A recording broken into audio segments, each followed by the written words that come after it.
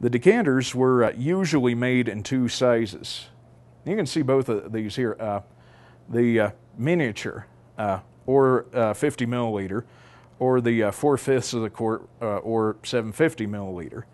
Uh, however, a handful of the half gallon uh, or 1.75 uh, liter and uh, the gallon sizes were also made. And so, with the gallons here, you're seeing some of the largest decanters ever made.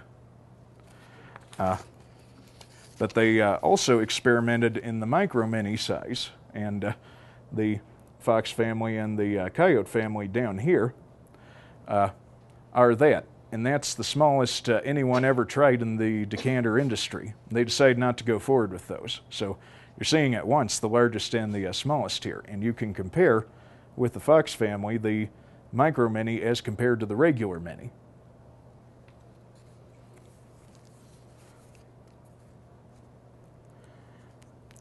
Yes, uh, Ski Country uh, also made uh, two releases uh, very limited there for the club members at the auctions. Uh, uh, they made uh, paperweights, and those were not decanters, but they were simply sculptures. And uh, the uh, L there is uh, one of the paperweights. It doesn't hold anything, it's just a porcelain sculpture. And the other was a bald eagle. And they also, at the end, with uh, Barbara Foss's uh, last design, the Kachina. They uh, made uh, figurines, and uh, the silver Kachina up there, which is very rare, is that that's a lower production run than the gold skier.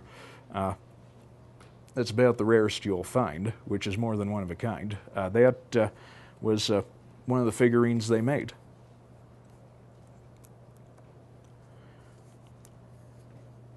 And once they were made, let me go over here and get something real quick. the decanters were then packed into specially designed styrofoam containers for shipment. And uh, these protected them as they were shipped everywhere. This particular one has a World War II submarine in it. And uh, hopefully I can open it without incident, yes. Uh, and here is uh, what it looks like uh, packed up. Uh, the submarine's top, uh, which is the stopper, is uh, over to the side there, while the body is in the main there.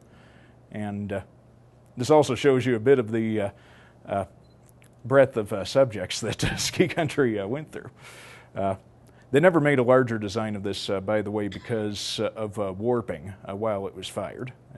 it just wouldn't work. Were sometimes uh, filled, actually had uh, bourbon whiskey in them, and uh, they were uh, then distributed for sale. Uh, sometimes there would be uh, specific targeted markets, like Arizona for Barbara's ceremonial Indian dancers, or Alaska for their Arctic wildlife series, like the walrus over up there at the end and uh, three decanters uh, were even shipped as far as Australia and filled with Seppelt cream sherry and then brought back and sold. Uh, those were the uh, koala and the black swan and uh, the kangaroo. The ski country productions were made in several categories for people's uh, interest, and these included the club bottles, which were unique wall hanging decanters. You, you, they had holes in the back of them that you could just hang them on the wall. And one of these is the uh, Bluebirds, which is uh, sitting on its back over here. And uh, they also made eagles, falcons, and hawks, uh, uh, fish, which they uh, like to create using a neat lifelike shining glaze to them. animals, rodeo, game birds, horned and antlered animals, Christmas decanters, owls, Indians, waterfowl, banded waterfowl, which on their legs, they had bands which uh, showed the year that they were produced, which is a little clever.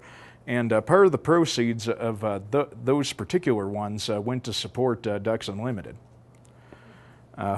They also did domestic animals, birds, and circus. like that wagon there belongs to the circus, for instance and the uh, ringmaster up there. And uh, those were made in conjunction with the Barnum Festival in uh, Bridgeport, Connecticut. And uh, customer specialties, which were uh, other subjects uh, not fitting in the general categories, like the submarine. And beyond ones like the submarine, there's two others here which are they're rather fitting for this time of the year. and bipartisan, of course, uh, and uh, one could take uh, one and uh, display it for your favorite political party. Uh, though uh, their heads come off, you could decapitate one or both if you want.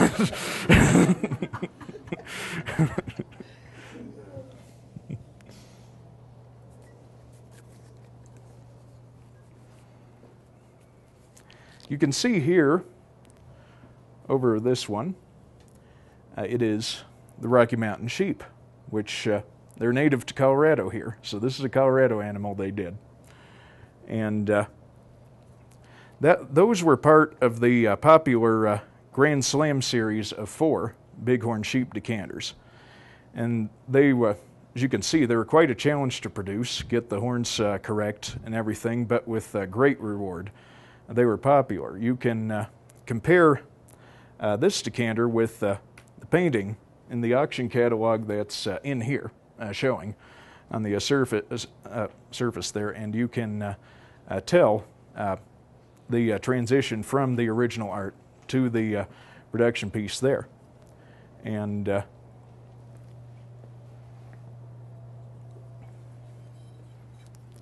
this little guy here is another of the Grand Slam series. This is the Stone Sheep, and this one is the original mock-up of the uh, miniature of the uh, stone sheep, which uh, is a neat postured one. the other three mock-ups went together in one auction, and this one I got in another auction, and uh, it seemed that the one who got the first three uh, didn't show up. Uh, this one went awfully cheap, and so I'm hopeful one day that the whole series could be reunited, but I have no idea who has the first three.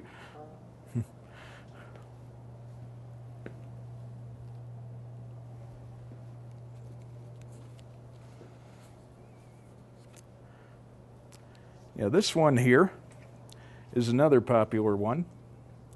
It's uh, the pheasant in the corn. And its uh, stopper is, uh, might not even be able to uh, make it out. They put it around uh, in the area of the neckline. It's a ringneck pheasant, which uh, is a um, somewhat clever place to put stoppers. They like to be a bit creative.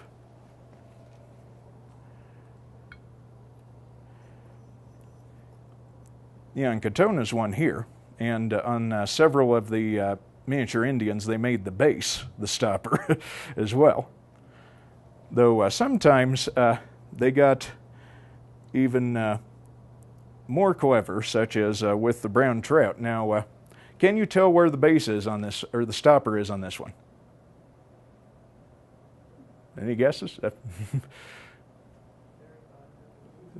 It's uh, through the bottom, a little plastic stopper on the bottom. They made, uh, I think, three designs this way.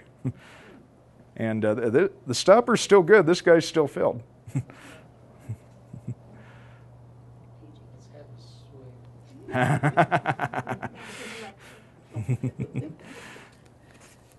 At their height, the ski country decanters were popular around the country, uh, so much so that ski country had its own nationwide collector bottle club, uh, and uh, they had uh, their own newsletter. This is an early edition of the uh, Ski Country Collector, and uh, they give you price guides, and you could order the decanters uh, from them.